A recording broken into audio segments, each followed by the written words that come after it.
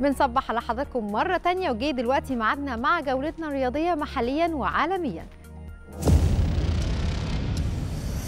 اليوم انطلقت ركلة البداية.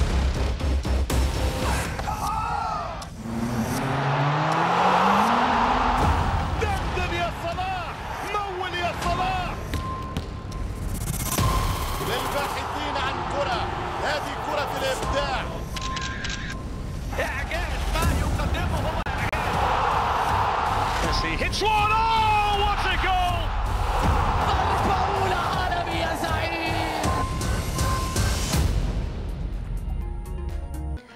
أعلن نادي بيراميدز تعيين اليوناني تاكيس جونياس مدير فني لفريق الكرة في النادي علشان يقود الفريق خلال الفترة اللي جاية وبدأ المدير الفني اليوناني مهمته مع الفريق في تدريباته امبارح على ملعب الدفاع الجوي علشان يستعد لمباراة سيراميكا كليوباترا في الدوري الممتاز اتعادل فريق كريستال بالاس مع فريق ليدز يونايتد سيلفيا خلال فعاليات المباراة اللي اتلعبت بينهم امبارح ضمن منافسات الجولة ال 34 من بطولة الدوري الإنجليزي ممتاز. بالنتيجة دي بيتواجد كريستال بالاس في المركز ال 14 ورصيده 38 نقطة وليدز في المركز ال 16 في جدول ترتيب الدوري الإنجليزي برصيد 34 نقطة.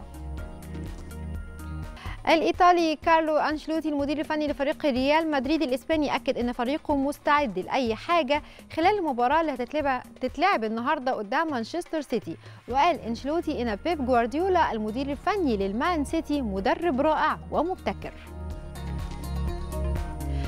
نجح النجم المصري محمد صلاح لاعب ليفربول الإنجليزي في تصدر قائمة اللاعبين الفائزين بلقب رجل المباراة في الدوري الإنجليزي خلال الموسم الحالي لأكثر من مرة. وده بعد ما تم اختياره في مباراة مانشستر يونايتد الأخيرة اللي اتلعبت ضمن مؤجلات الجولة 30 وفاز صلاح بلقب أفضل لاعب في المباراة 13 مره 13 مرة. وده خلال الموسم الحالي بفارق 2 عن أقرب منافسيه في الدوري الإنجليزي للموسم الحالي.